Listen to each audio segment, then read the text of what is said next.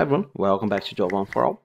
In this video we are going to start a new topic and we are going to talk about optional.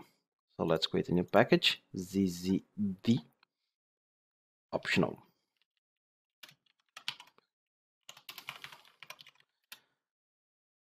Okay, so forgot the test package. What is optional? Creating here a class called optional test01 basically optional is a way that Oracle created to basically do two things. One, try to reduce the number of null pointer exceptions. And the second is to make a little bit more explicit uh, what you are trying to achieve. So for example, uh, let's say that you have a method that's going to return a name from a list we are going to receive a parameter and basically if that name exists you are going to return the name otherwise you are going to return null. How can we do that? Private static string find name string name and you can create here list.off william that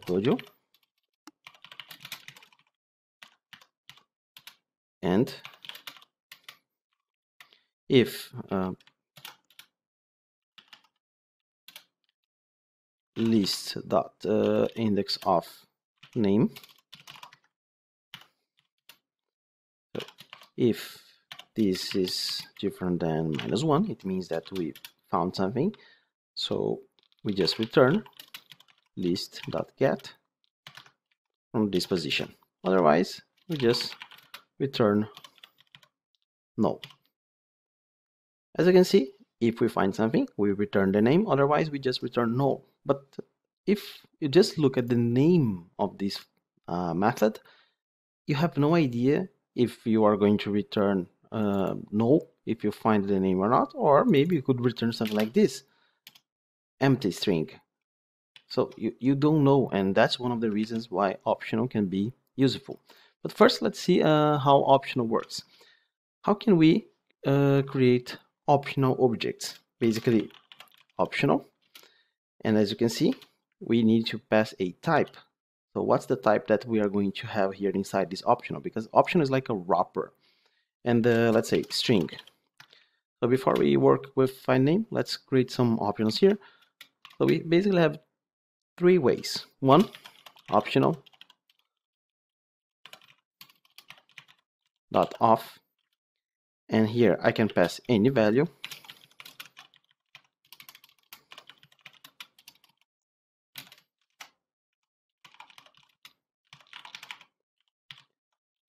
And if I print this value right here you will get the string wrapped into this optional. So you have the option and then you have the string. So what's the other option optional. O2 optional. Off nullable. When is off nullable useful when you don't know if for example if we were working with find name the return is null or it's present. In these cases you should use off nullable. Because if you have off nullable and you actually send something or you don't send anything, you will get uh, no exceptions.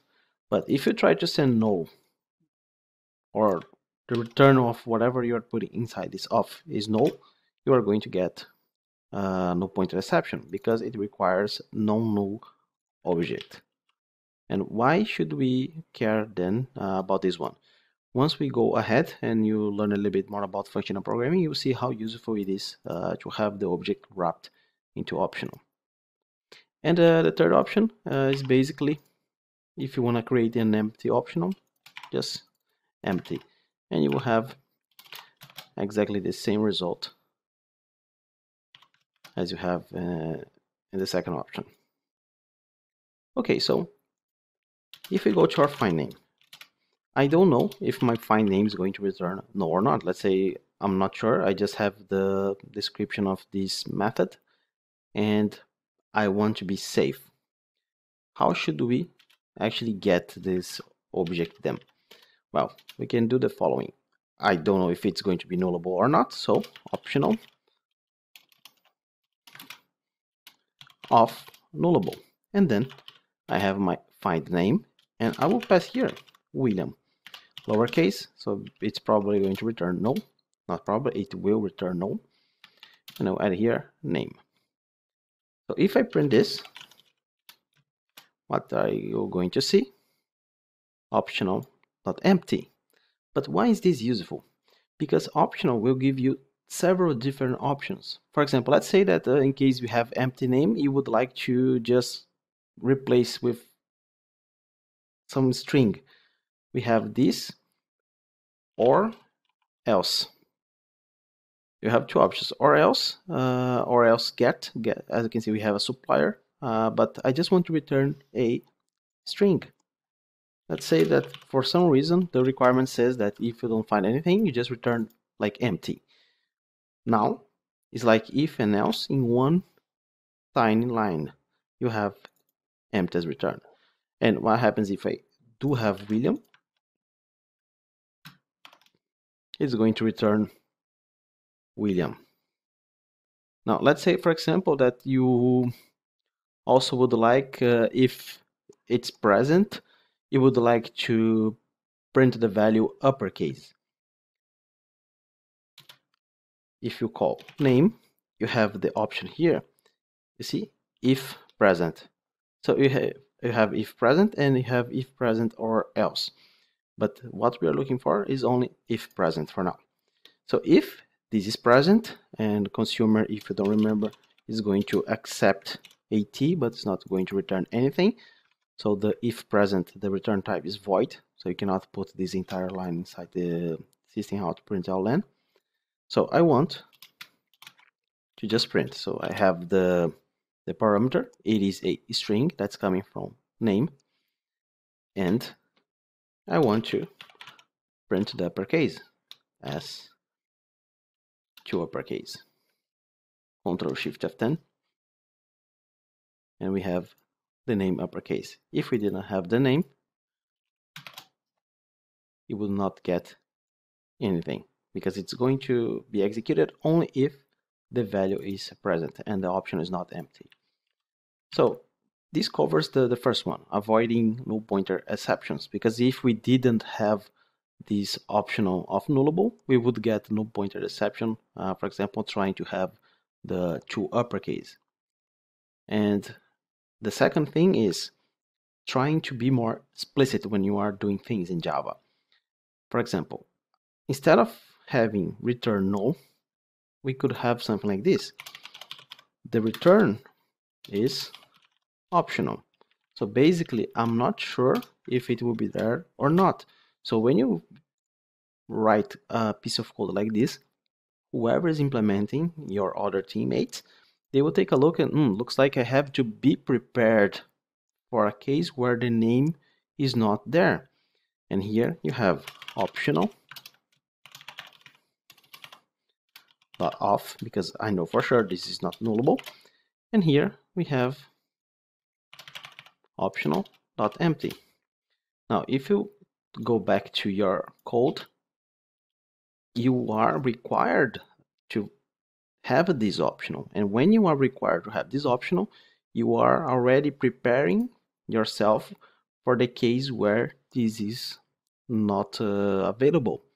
So what should I do? Uh, what's the requirement do of uh, in case the find name does not return me a name?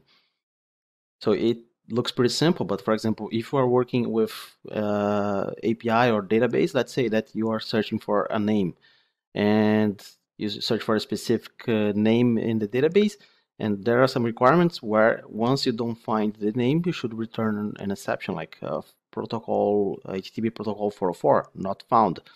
In this case, with optional, it's pretty simple: find uh, name, or uh, you have another option here that's or else so for example, find name, and I can search here William, and then or else throw, and you have a supplier. What do I want to throw? Well, I want to throw, uh, let's say illegal argument exception. So then Control Shift F10. This is going to return uh, for an exception. Why? Because it couldn't find the name. And the best part is like you do have the ability to have the name. So as you can see, the code gets cleaner because otherwise you would have to keep writing if else if else. And with this in two lines, you have the, the requirement. You either find a name or you throw an exception. Cool. I think that's enough for one video. Let's continue with more optional in the next one. Bye.